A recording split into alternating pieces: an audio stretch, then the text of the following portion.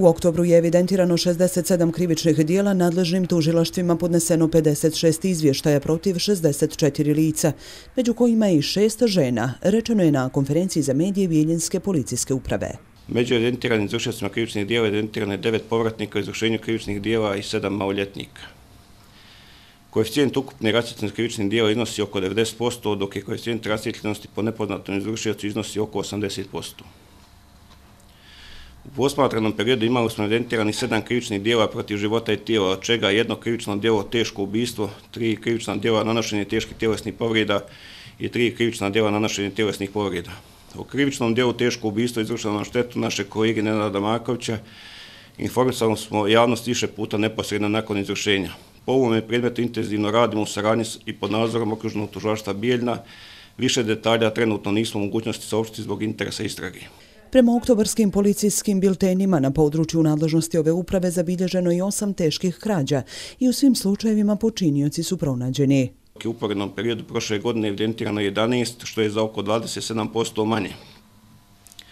Značajno je napomenuti da su sve ove teške krađe bile pod nepoznatom izvršiocu i da su sve rasvjetljene. Broj krivičnih dijela opšteg kriminaliteta u oktobru manji je za 20% u odnosu na isti period lane.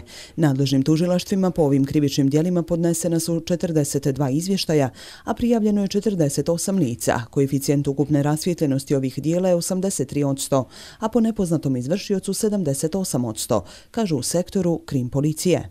Evidentirano je 29 dijela protiv imovini, što iznosi manje oko 10% u odnosu na prethodnu godinu oktobar mjesec, nadležnim tužilaštvama podneseno 25 izvještaja o počinjenim krivičnim djelima i prijavljeno 24 lica.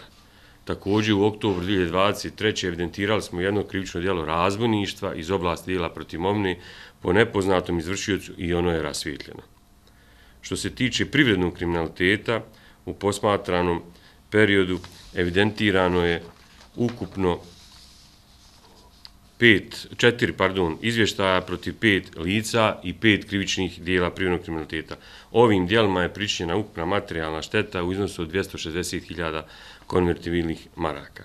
Kada pričamo o narkoticima, u toku oktobra mjeseca imali smo ukupno 16 zloupotreba opojnih droga, što iznosi ovaj, više od 120% za prethodni period.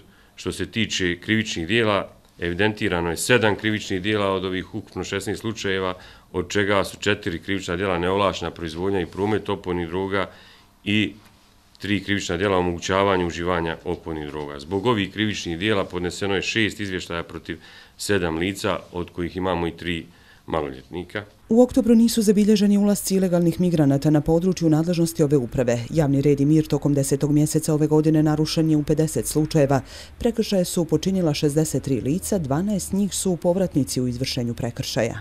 Za navedene prekršaje policijski službenici naše policijske uprave podnijeli su 11 zahtjeva za pokretanje prekršajnog postupka i izdali 38 prekršajnih naloga.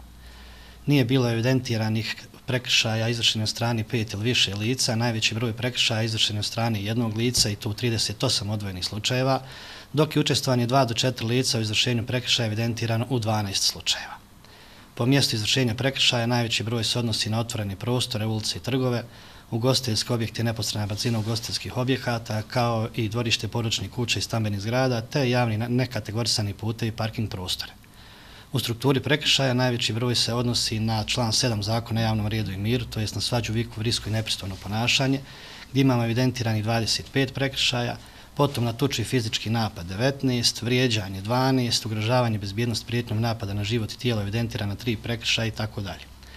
Od uzroka narušavanja javnog reda i mira najčešći uzroci jesu bahato i drsko ponašanje, sticanje materijalne koristi, te buka, alkohol i drugi uzroci narušavanja javnog reda i mira. Kada se govori o polnoj strukturi, najveći broj izvršilaca su muškarci, to 50 muškaraca, dok se 13 osoba ženskog pola pojavljuju kao izvršioci prekršaja. Tokom oktobra zabilježeno je i smanjenje broja saobraćenih nezgoda u odnosu na uporedni period prošle godine. Dogodilo se 108 nezgoda, a nije bilo saobraćajki sa smrtnim ishodom. U ovim nezgodama 12 lica je zadobilo teže i 40 lica lakše tjelesne povrede. Nije bilo registrovanih saobraćajnih nezgoda sa poginulim licima. Najveći broj savraćenih nezgoda sa nastradalim licima registrovan na području grada Bijeljine je 27 ili 75%. Najčešće greške koji su utjecali na događanje savraćenih nezgoda su neprilagođena brzina kretanja 15 nezgoda ili 14% od ukupnog broja, zatim nepropisno ustojanje u kolskoj vožnji 14 nezgoda ili 13%, nepropisno skretanje 10 ili 9%. Vozači pod istom alkohola su prouzrokovali 16 saobraćajnih nezgoda, što je manji za oko 16% u odnosu na isti period 2022. godine. Vozači bez položenog vozačkog ispita su prouzrokovali tri saobraćajne nezgode, dok su mladi vozači prouzrokovali 10 saobraćajnih nezgoda ili 9% od ukupnog broja registrovanih nezgoda. Evidentirano je ukupno 2514 prekršaja iz oblasti bezbjednosti saobraćaja, a u policiji navode da su iza saobraćaja isključena 33 vozila, od čega 11 zbog tehničke neispravnosti. Isključene su 179 vozača, od čega zbog vožnje u stanju 158 vozača. U mjesecu oktobru provedena je regionalna akcija pojačane kontrole saobraćaja sa akcentom na kontrolu vozača pod dejstvom alkohola i kontrolu brzine kretanja, pri čemu i sabraćaja zbog vožnje u alkoholisanom stanju isključena 82 vozača, dok je tokom dva dana provođenja akcije evidentirano 178 prekoračenja propisane brzine kretanja. U cilju prevencije saobraćajnih nezgoda i tokom decembra se nastavljaju policijske akcije usmjerene na kontrolu brzine kretanja vozila i vožnju pod dejstvom alkohola, najavljuju u ovoj upravi. S obzirom da je decembar karakterističan po događanju većeg broja savraćenih nezgoda u kojima učestvuju ranjive kategorije, pješaci i biciklisti apelujemo na vozače motornih vozila da posebnu pažnju obrate na ove kategorije učesnika u saobraćaju, posebno u uslovima smanjene vidljivosti, i noćnim uslovima, a da napomenemo da su pješaci i biciklisti u obavezi da u noćnim uslovima i po danu uslovima smanjene vidljivosti koriste fluorescentni prsluk koji ih čini bolje uočljivi. Iz policijske uprave Bijeljina podsjećaju da je od 1. novembra pa do 1. aprila obavezno korištenje zimske opreme, te apeluju na vozače da poštuju ove zakonske obaveze, te da u saobraćaju učestvuju sa tehnički ispravnim vozilom.